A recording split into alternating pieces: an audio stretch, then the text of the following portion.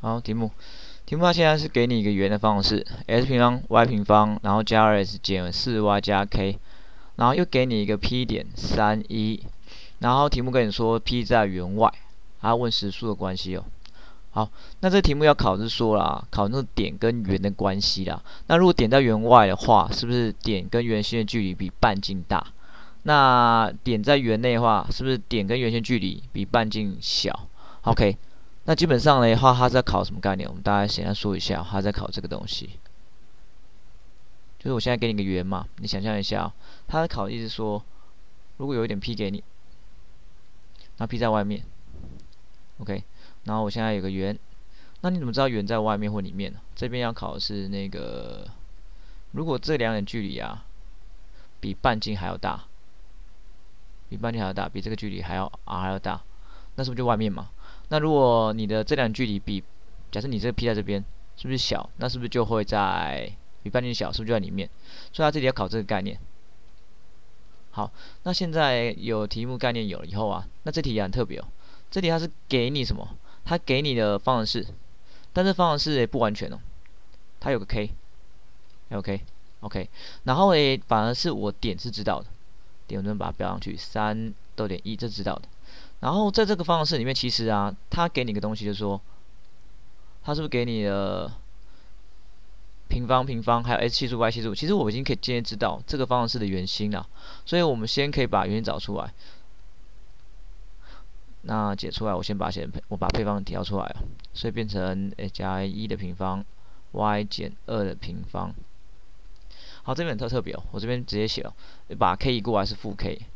然后嘞，这边配方的话应该是加一平方嘛，这边不多一个加一平方，这边多加个二平方，所以我们当做把右边也加了一平方加二平方。好，那在这边补充一下哈，这边补充一个概念，复习一下，圆呢一个典型的一般式，就是标准式啦，它应该是 x 减掉圆心。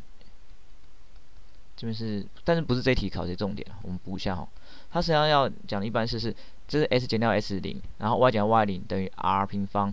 在这边的话呢，x 零 y 零是指圆心的意思，r 是半径的意思。哎，复习一下，这个基本常识。OK，好，这我们放在旁边。好，那我们回来题目。那这样方式给你以后啊，其实在这边的话，我们可以知道一件事，是不是这边的 r？是不是等于负 k 加五哦 r 平方了？你看我对照一下，是不是这 r 平方 r 平方 r 是半径哦，所以负 k 加五是半径。所以你可以想象一件事，现在啊，好像我有个半径叫负 k 加五。我这边特别用别颜色好不好？做区别。我这边用蓝色区别，是负 k 加五。但你记得是根号，因为它是平方后，你没有平方开根号的意思。然后我现在两点距离，是不是假设这个圆叫 O 好了？是不是 OP 的距离？耶？是不是要比这个半径大？所以我现在只要去推导 OP，利用这个 OP 距离比半径根号的负 k 加五还要大就可以了。好，那 OP 距离的话是明确的数字，知道吗？是不是圆心是三一？哦，想错了，sorry，圆心是负一，负一跟负二，我这边标出来哈。圆心是负一跟二，这两点知道吗？所以我只要三跟负一相减。然后加上什么？y 减 y 是一减负二，不一减二的平方，那这个就是 OP 嘛，推下来是 OP。然后另外一边呢是负根号负 k 加五，OK。那这边算出来的话，这边是十二四嘛，四十六，这边是一四十七，所以是根号十七，然后大于根号负 k 加五。好了，那在这边的话，当然是根号里面要为正。等一下我们再判断，如果遇到问题的时候，那这边的话两边都有根号，我先把它直接去掉，是变十七大于负 k 加五。所以我们可以间接推出来一件事，我们的 k 是不是大于把这边移过来？那十七移过来是负十二。所以我的看范围找出来了。好，那他说圆外，所以这边不能等号，等号是不是等于在圆上？这边要注意一下，好，所以答案 n s，我们 n s 要写 k 大于负十二。